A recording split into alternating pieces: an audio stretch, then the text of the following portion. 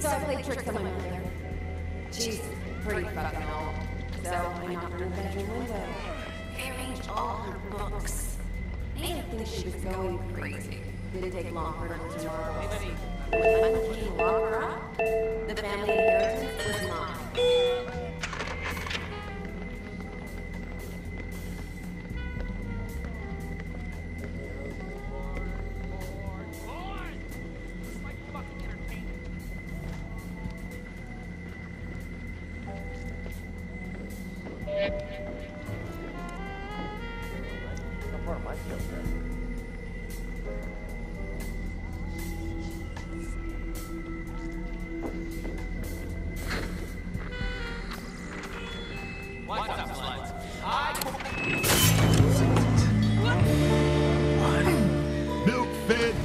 Free, and completely pampered?